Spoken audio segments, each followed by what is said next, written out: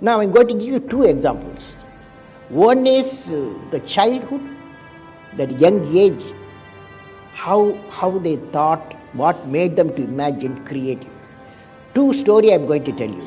When Albert Einstein was five years old, five years boy, his father showed him a pocket compass. Einstein realized that there must be something in the space previously thought to be empty that was moving the needle. Later stated, this experience made a deep and lasting impression. You know, in compass, if you see, the needle moves. Why it moves? Oh, he was a five-year boy. So that created in his mind curiosity. As he grew, Einstein built models and mechanical device for fun and began to show a talent for mathematics. Now, in 1889, family friend Max Talmud, a medical student, introduced a 10 year old Einstein to a key science, key, key science mathematics textbook. It's called Euclid's Elements Einstein Elements, Euclid's Elements. Einstein called it Holy Little Geometry.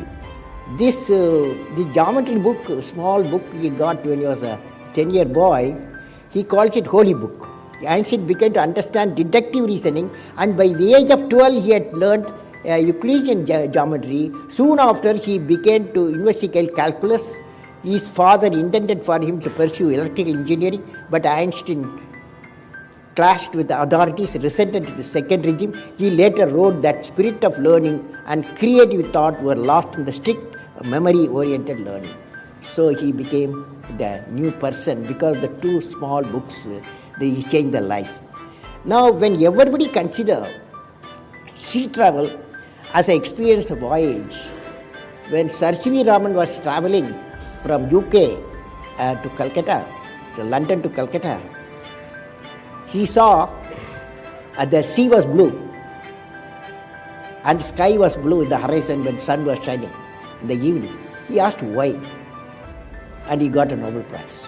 Okay, that means the he was pondering why the horizon where the sky and sea meet looks blue. His research resulted the phenomena of inelastic scattering of photon in the light. For this discovery, C.V. Raman was awarded Nobel Prize.